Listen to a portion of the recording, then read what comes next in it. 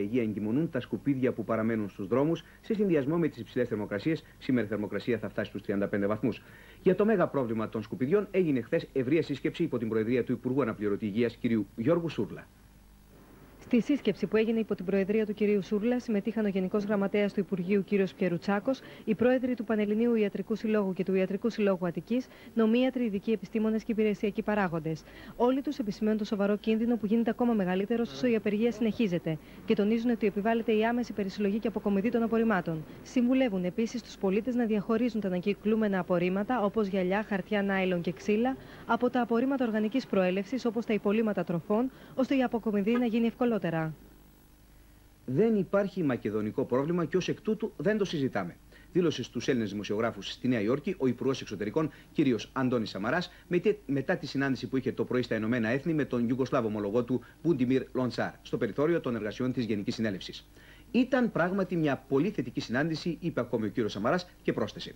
Νομίζω πως ήταν μια ευκαιρία να επισημάνουμε στους Ιουγκοσλάβους ότι εμείς ξεκινάμε ως γείτονες, ως φίλοι από χρόνια και ως μέλη του Βαλκανικού Συμφώνου. Και μια ματιά τώρα στον Περσικό. Το Ιράκ θα διακόψει από την 1η Οκτωβρίου την παροχή τροφίμων σε όλους τους ξένους που έχουν αποκλειστεί στο Ιράκ και το Κουβέιτ. Αυτό έγινε γνωστό χθες στη Βαγδάτη από πηγές του Γαλλικού Πρακτορείου Ειδήσεων.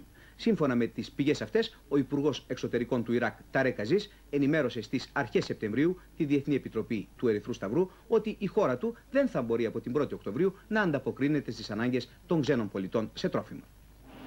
Πηγές στην Ιρακινή πρωτεύουσα ανέφεραν ότι περίπου 40 φορτηγά που μεταφέρουν τρόφιμα και γάλα για μικρά παιδιά έφτασαν χθες στη Βαγδάτη προερχόμενα από την Ιορδανία. Είναι η τρίτη αυτοκινητοπομπή που φτάνει τις τελευταίες μέρες στη Βαγδάτη από τη χώρα αυτή.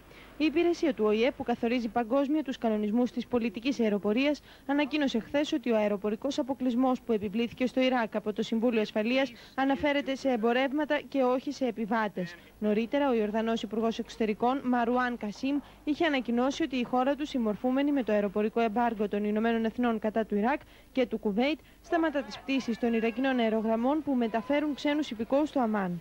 Ο Υπουργός Άμυνας των ΗΠΑ, Ντικ Τσένι, δήλωσε χθες ότι θεωρεί πιθανή την κατάληξη της κρίσης στον Περσικό σε πολεμική σύραξη, καθώς ο Σαντάμ θα χρησιμοποιήσει μάλλον βία για να σπάσει το εμπάργκο που έχει επιβληθεί κατά της χώρας του. Από την πλευρά του, ο Υπουργός Εξωτερικών της Βρετανίας, Douglas Hurd, υποστήριξε χθες ότι μια αμυντική οργάνωση πρέπει να συσταθεί στον Περσικό, για την οποία θα αποφασίσουν μεν τα κράτη της περιοχής, αλλά η δάση θα μπορούσε να χρησιμεύσει ως πρότυπο. Νέα μικρή πτώση σημείωσαν χθες οι τιμές πετρελαίου στις διεθνείς χρηματαγορές. Νωρίς το απόγευμα, η τιμή του αργού πετρελαίου Brent Βόρειας Θάλασσας έπεσε στα 38,6 δολάρια το βαρέλι από 40,20 δολάρια της προηγούμενης μέρας. Την ερχόμενη εβδομάδα κρίνεται σύμφωνα με όλες τις ενδείξεις το θέμα της προφυλάκησης ή μη των κατηγορουμένων για το σκάνδαλο Κοσκοτά πρώην Υπουργών του Πασόκ κυρίων Κουτσόγιοργα και Πέτσου. Η απόφαση για τον κύριο Κουτσόγιοργα αναμένεται την ερχόμενη Δευτέρα, ενώ για τον κύριο Πέτσο έως το τέλος της εβδομάδας. Ναι. Διεκόπη η... η ανακριτική διαδικασία για την άλλη Τετάρτη το απόγευμα στις 6 η ώρα Λαμβανωμένο υπόψη είναι ότι ο κύριος ε, Γαλανός ζήτησε έναν χρόνο ενημερώσεως για τις μέχρι τώρα καταθέσεις που υπάρχουν. Σύμφωνα με πληροφορίες, τον κύριο Πέτσο υπευλήθησαν σήμερα ερωτήσεις από τον κατήγορο βουλευτή της Νέας Δημοκρατίας, κύριο Νικό Κατσαρό, ενώ στις ερωτήσεις του νέου κατηγόρου, κύριου Γαλανού, θα απαντήσει την Τετάρτη, οπότε και αναμένεται να ολοκληρωθεί η απολογία του. Στο εδόλιο του μεικτού ορκωτού κακουριοδικίου κάθισε χθες ο αξιωματικός αεροπορίας Ιωάννης Μικέλης, ο οποίος κατηγορείται για ανθρωποκτονία από πρόθεση, η φίλη του Ελπίδα Βάθη και ο 20χρονο γιος της Αλέξης Αστεριάδης, οι οποίοι βαρύνονται με την κατηγορία της ηθικής αυτουργία στο αδίκημα. Η δίκη θα συνεχιστεί σήμερα το πρωί.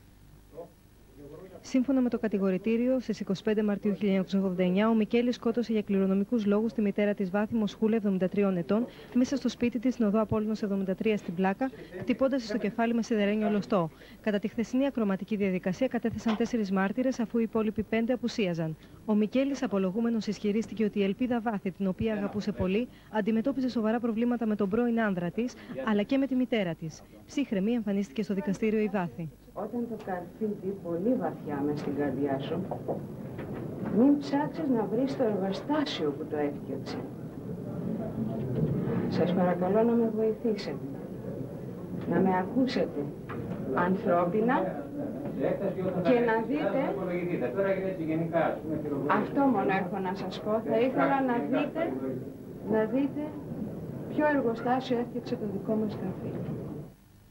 Ένας από τους μεγαλύτερους Ιταλούς συγγραφείς, ο Αλμπέρτο Μοράβια, πέθανε τις πρώτες πρωινές ώρες στη Ρώμη από καρδιακό επεισόδιο. Ήταν ένας από τους μεγαλύτερους ρομαντικούς συγγραφείς του 20ου αιώνα. Πολλά από τα έργα του μεταφέρθηκαν στον κινηματογράφο και την τηλεόραση. Από τα πιο γνωστά, η Μοναξιά και η Γυναίκα από τη Ρώμη. Η αυλαία του φετινού Φεστιβάλ Αθηνών έκλεισε απόψε στο Ηρώδιο με την πανηγυρική πρεμιέρα του μπαλέτου Ζορμπάς σε μουσική και διεύθυνση του Μίκη Θοδωράκη. Η παράσταση θα επαναληφθεί και αύριο με την διεύθυνση του μαέστρου Λουκά Καριτινού. Η μεγάλη προσέλευση επισήμων και κοινού υποδήλωσε την έντονη επιθυμία όλων να παρακολουθήσουν μια διάσημη παράσταση με θριαμβευτική πορεία εδώ και δύο χρόνια στην αρένα της Βερόνας. Ο Λόρκα Μασίν ήταν πράγματι ο μοναδικός ζορμπάς ο Έλληνας.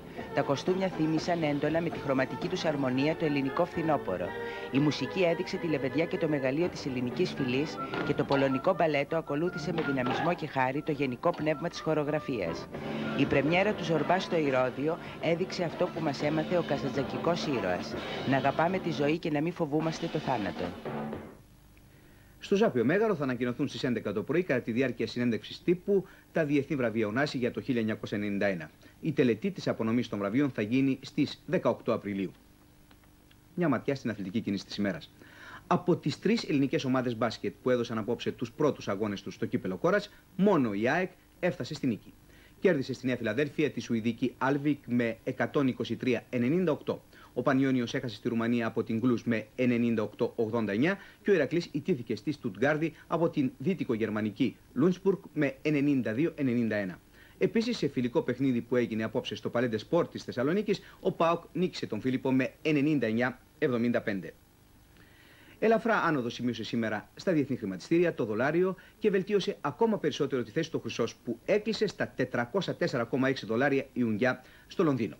Στο Τόκιο το δολάριο έκλεισε στα 137,35 γεν, στην Φραγκφούρτη στα 1,5675 μάρκα, στο Παρίσι στα 5,2490 γαλλικά φράγκα, στη Ζηρίχη στα 1,3092 ελβετικά φράγκα, στη Νέα Υόρκη λίγο πριν από το κλείσιμο στα 1,5713 μάρκα, ενώ στο Λονδίνο η Στερλίνα έκλεισε στα 1,8640 δολάρια.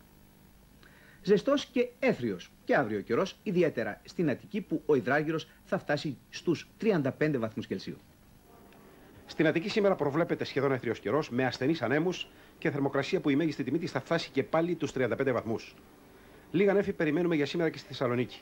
Ενώ οι άνεμοι θα παραμείνουν ασθενείς και η θερμοκρασία θα κοιμανθεί από 17 μέχρι 31 βαθμούς Κελσίου.